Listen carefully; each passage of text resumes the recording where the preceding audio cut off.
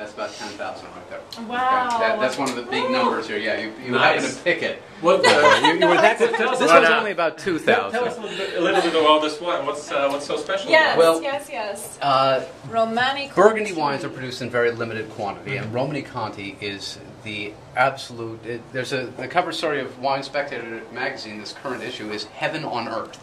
It is the most highly prized, the most expensive, the hardest to get wine in the world. They make it in very limited quantity, and one thing That's- about wine that doesn't make it widgets or books or anything else is when they're done, they're done. They only make Right. as much as they can in a given year. How many grapes they've got, and you know. Uh, uh, fluid per ton, whatever it is, and uh, and so this wine Mm, Get over is here. just as expensive as it gets. Here, They typically sell for five to ten thousand dollars a bottle when they're new. Mm-hmm. Okay, Wow. so Romanée-Conti 1990 is about as uh, off the charts as you get in that general direction.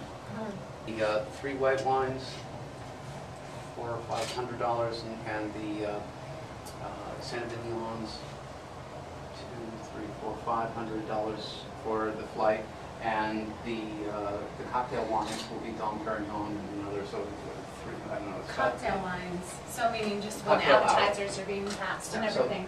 In all, pretty close to two thousand dollars per table. Wow. Yeah. And but what of those, which bottle is the most pricey? The most expensive would be the uh, Chateau Pavie Saint-Emilion, uh, would be about 200, 250, or the Colgin United States Syrah is probably around 250. Hmm. Yeah, so those two are standouts as being. I, I can definitely do more episodes with this guy. Oh. I have so many questions. I have I have so much gibberish to spew, and uh, What is the best? I assume you do some traveling with your work. quite a bit. So what is the best wine travel trip that you've taken? Oh, um, well, I just recently went to uh, Santa Ynez, and I have to say I was so impressed. It was so beautiful. Just up here, I've been to Tuscany, Napa, Bordeaux, other places all around the world, and I had never been to the one that is the closest growing region to me, and it was spectacular. There are enough good restaurants up there that you can have a great week, weekend, or week even. Um, it's pretty casual. Uh, there are a lot of great places to go. People are very welcoming, uh, and it's so beautiful. I was there in March before the grapes were really growing, uh, but it was incredibly green and verdant.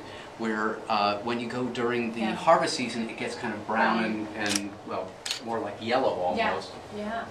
Um, when I was in Bordeaux, uh, uh, for sure, at the we were talking about this earlier, the, the Smith Lafitte where the Source de Caudalie is. Yeah. They had Yeah, one of those bicycles, like the Juliette Binoche kind of bicycle, black with a little basket in front, and Yeah, you know, yeah. no bar going across it. And uh, and I went riding and found myself like actually in vineyards, riding through with hmm. the the dew and the sunlight hitting it. And, I mean, you know, Like something out of look a movie. look at me, Lord. Yeah. look where I am. God is smiling Yes, down on you. What a moment this is, you know. Don't I wish I had a. And of course, that's when you never have a camera, and the camera does you no good in that moment, No. anyhow. Trying to, to catch the, the the evanescence of of the vineyards as the, the morning dew has settled on. You know, kind of. We were there in February, so it was cold, and uh, or May rather, and it was still cold. But uh, what a what a beautiful place that was, and I love going to, uh, to Tuscany and the rolling hillsides, and you see those houses with the they're all the same. They've got those green clapboards that they shut to keep out the afternoon sun, and they open them up in the morning and the evening, and uh, the, the tile roofs and the cypress trees, and you go like, you got to be kidding me! Is this a movie set? Yeah. But it's like that, and it's mm-hmm. so beautiful. And, and wherever wine grows, typically it's a beautiful place. I mean, look, you've got these vineyards and rolling hillsides and all this stuff. Nice houses, great food. You know, the wine adventure portion of what you are talking about in your thing mm-hmm. is that's what it's all about. You know, going Yeah. to these places, going to Napa is, is so fantastic, and the food up there is so great. You know, Right. of course, three days of, of going up there to eat and drink, and all you want is a tuna sandwich and a glass of milk, and be left alone. But uh, Uh, it's so true. I think that wine is kind of like a, it can be the cherry on top of an experience, you Mm. know, and so those are all, it's kind of like what the show is trying to highlight, kind You of see, the lifestyle around wine. I see a different thing. Is it yes? Okay, cherry on top, definitely.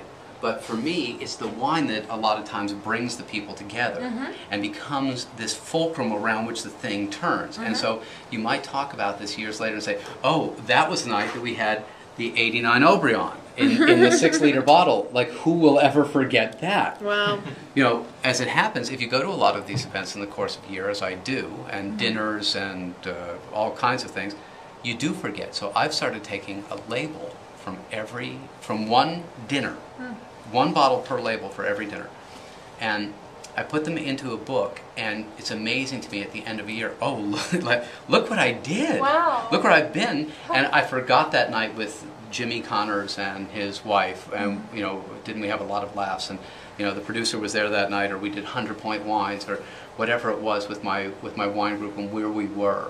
And all of that stuff is just so great, you know. And it's and you really do say, that was the night that we had that wine and it was a thing. It was more than the uh, cherry on top. It was actually kind of the meal. Right, that it was Yeah. bringing you bringing you together.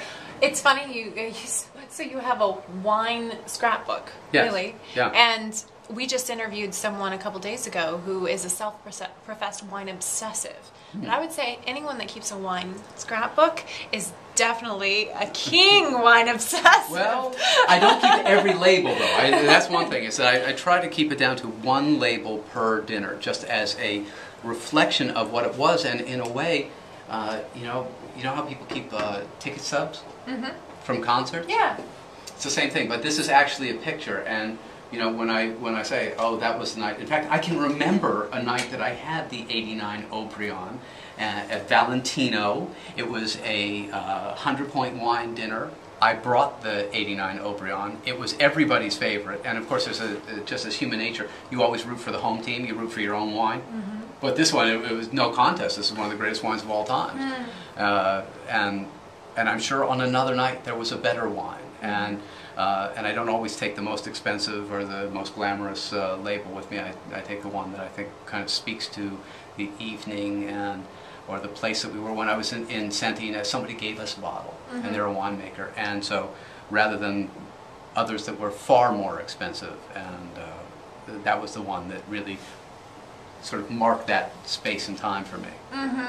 Very cool. Very cool. I mean, it's just it's no mystery that you're so, you love what you do. You know, and that's the dream. Really, No. is to do what you love and love what you do, and you clearly do that. That's true. Although, as a dream job, I don't know that I could actually say that because it's cold in these places. Okay, this one. so this you is- don't, do you dress this way?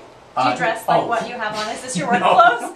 no, no. So when you come in, like say this is a, a cellar that you're going to Right. organize, Mhm. do you come in in long johns? Do you come in in what do you come It's in? a What's your work hybrid. Okay, not exactly long johns. I'm not, going out to cut the wood in the you know freezing forest, but yeah, I, I have some really nice you know warm weather clothes. I have a Zegna overshirt that's you know lined and like that, and I, I'm conscious that I'm you know shouldn't be wearing loafers because it can be cold, and we spend hours at a time Right. in these places. You know, sometimes five, six, seven hours without really ever leaving or sitting down, uh, trying to put the, all of this, all the pieces together. You know, it's like a giant jigsaw puzzle, but you don't know what it looks like until you're done making it.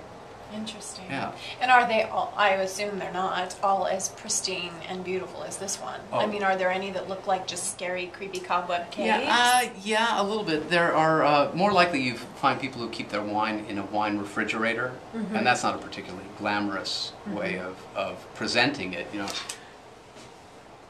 look around you. I mean, this is. I mean, you said it. This is really a beautiful room. As it happens, the wines in this room are as great as any wines in any wine cellar anywhere in the world. Okay. This, this is it. Uh, now, other people have lots more, maybe more vintages and, and greater quantity. Uh, I'm sure that if you asked my father, he'd tell you he was very happy that he enjoyed it so much.